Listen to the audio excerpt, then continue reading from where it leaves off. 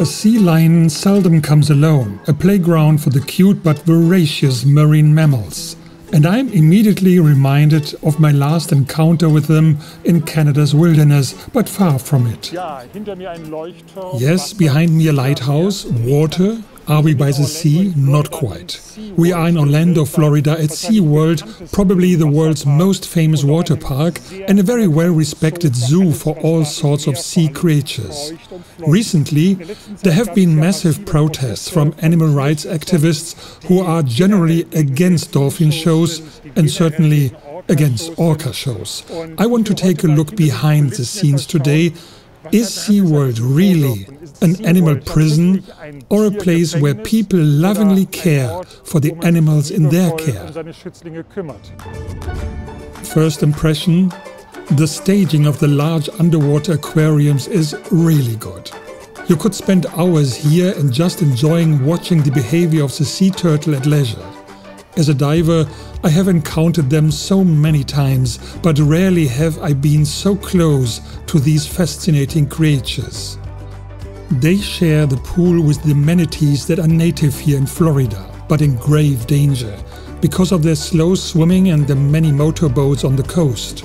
Just how such an encounter goes, one can imagine.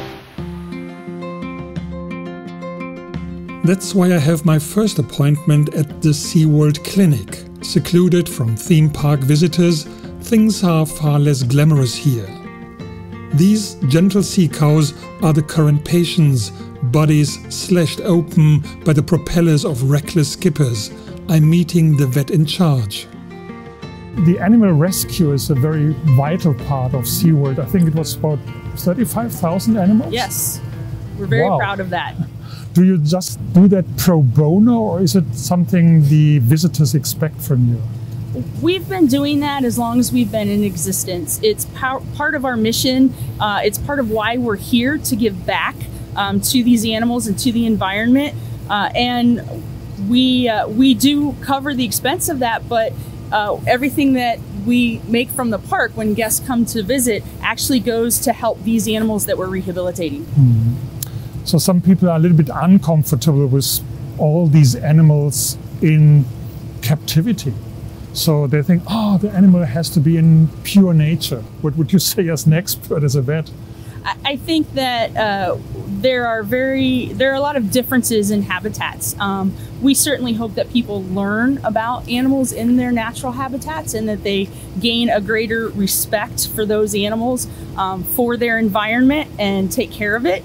Um, we strive every day to take the best care and provide the best habitats uh, for the animals that we have here. Every individual animal uh, means so much to us, whether it's a rescue animal or one of our residents who lives here or, or who was born here.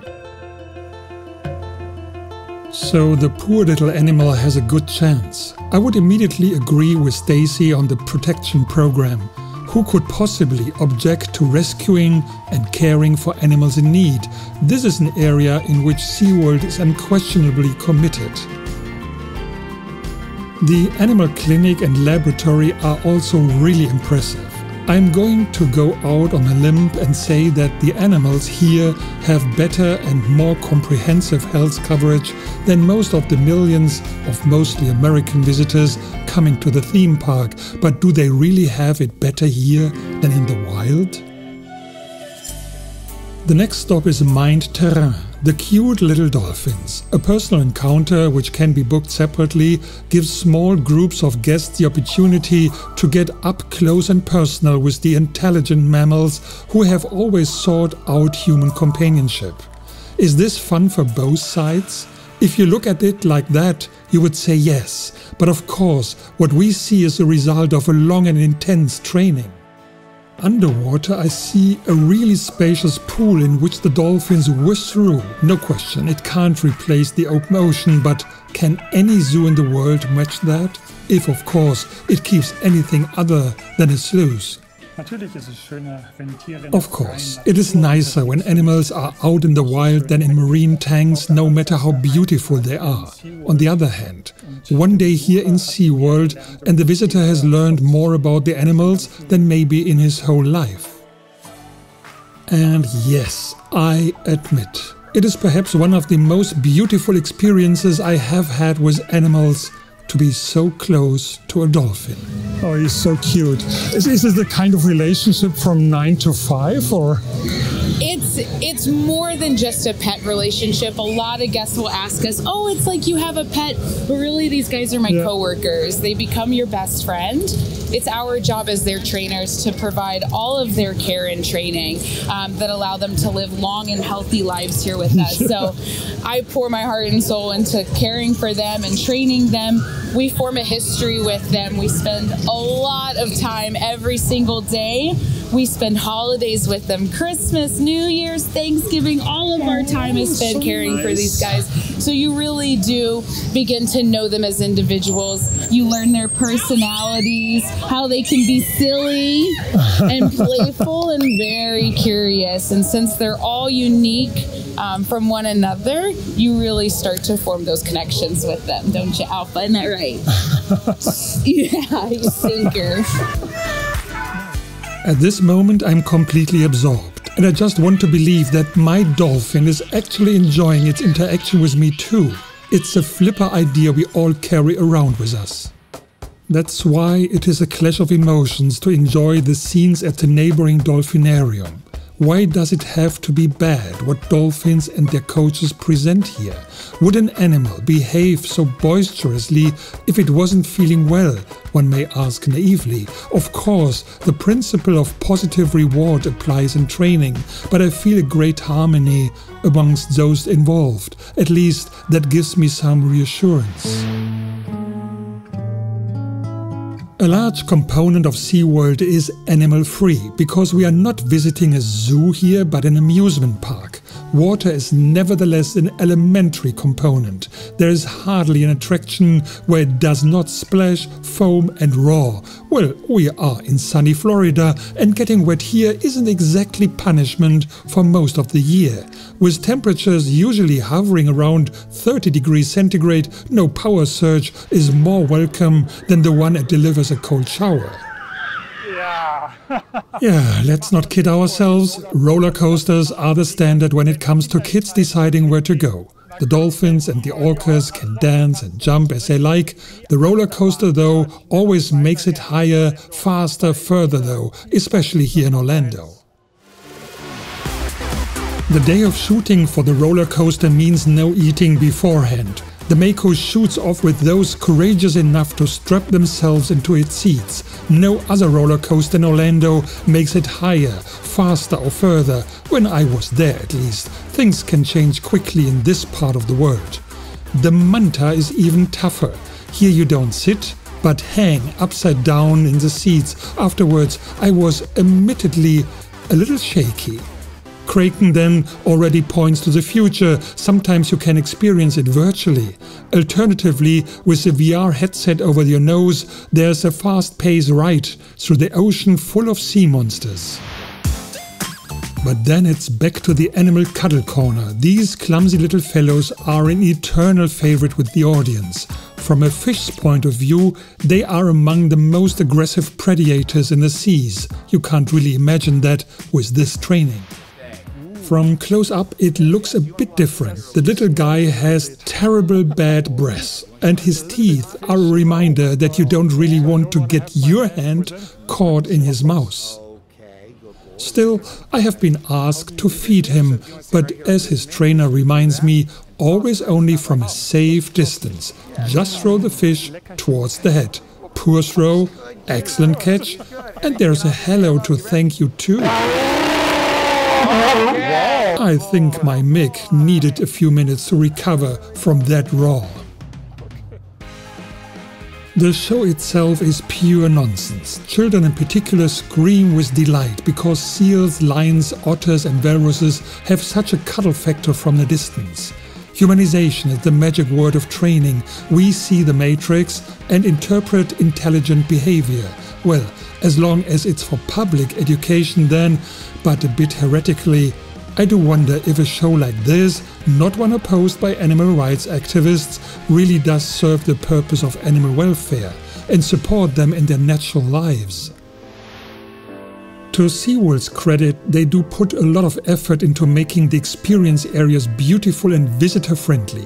A little trip from Florida to the almost eternal ice. In the Antarctic, the penguins are waiting, also a crowd pleaser, but before that, I quickly test one of the restaurants and no fish, please.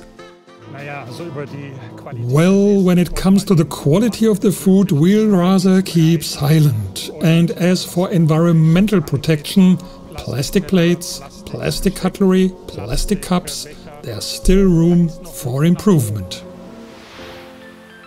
Small addendum, in the meantime, SeaWorld has decided to do without plastic. Microplastics have even been detected in the ice of the Antarctic, the habitat of those creatures. The habitat is really impressively laid out. Even as a visitor, you stand in the freezing cold, not only above but also underwater. I have permission again to shoot backstage as well. And the great thing is that visitors can also book such tours to get up close to the animals and learn more about their habitat and needs. After all, as the animal keeper tells me, hardly anyone can afford a real trip to the Antarctic. So this being in such an open habitat is already gratifying and most of them want to take the penguin home right after petting him.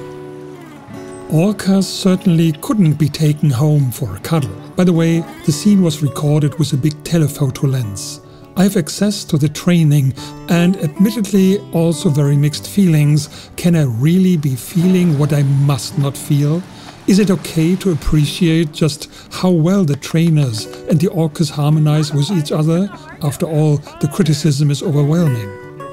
A trainer with a sunny disposition who proudly tells me that her killer whale, who also immediately comes to her at the glass, is celebrating its 13th birthday today, a teenager then. It's a fascinating bond between the two. It seems like an almost playful understanding. At the same time, at the platform, a morning ritual. The orca recognizes the cup, slides photogenically onto land, and presents itself perfectly for the daily urine sample for the medical check. Of course, these teeth remain deadly. SeaWorld knows this from painful experience in 2010. You want to block it out here as the trainer plays with the whale. Dog owners always say too, he just wants to play. So that's the first little breakfast for Keela. The first one. There's likely a hundred more after this. For all the positive feeling at this moment, of course, there always remains the basic question how does the orca feel if it could reflect it? How would you describe your relationship to them? So for me personally, I'm a pretty, I'm a high energetic guy. So one of our whales, Katina, she's 42 years old. She is a rock star. She can jump through the roof. She has a lot of energy. So her and I feed off each other really well. Where some of our other animals, they're a little more laid back, more like they like to play and have fun at the glass. So certain trainers have different relationships with them than I would. That's what's really neat about it. Now, I really don't have a favorite whale, but I do. Katina's obviously probably my favorite whale. I've known her for over 15 years. It's so his girlfriend. don't tell my wife, but yeah, no. yeah, but uh, yeah. So I've known Katina for 15 years, and, and it's it's really special. It's really cool, and we get to share with with folks like yourself and all the guests that come here. So it's really awesome. Happiness and commerce go together here, of course, and just as clearly. The pure joy de vivre that is staged here is the result of perfect training and not a playful voluntary decision on the part of the orcas. But still, everyone will see what they want to see here. The vast majority of the audience is happy to see these wonderful orcas live for once and engaged in the nonsense presented for the audience. And if only a few get involved afterwards because of this, when it comes to protection the ocean, doesn't that weigh more heavily than a radically negative approach? So, what's my conclusion now after visiting here at SeaWorld? One can, of course, radically argue that animals do not belong in captivity, animals belong in the wild. But what I have seen here today, this dedication, this love also evident in the trainers and with which they interact with the animals, that has impressed me very much.